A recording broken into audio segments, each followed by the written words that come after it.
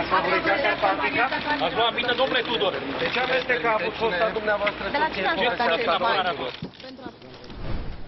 Colega mea, Andreea Georgescu, ne dă detalii despre acuzațiile procurorilor în acest caz. Bună ziua, Andreea! Bună ziua! Faptele de luare de mită pentru care George Daniel Tudor a ajuns astăzi în arest pentru 24 de ore printr-o ordonanță dată de procurorii din DNA ar fi avut loc în 2013.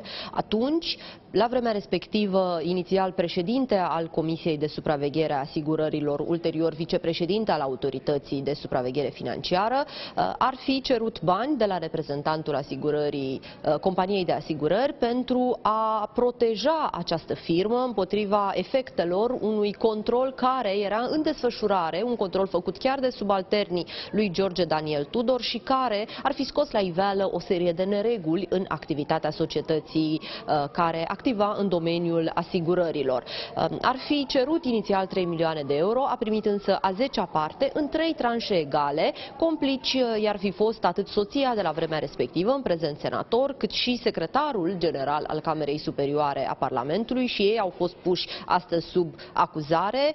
Senatorul Doina Tudor are calitatea de suspect, în timp ce pentru al doilea inculpat din acest dosar se va cere mâine arest la domiciliu. Ați primit mită vreodată în dosarul acesta ASTP?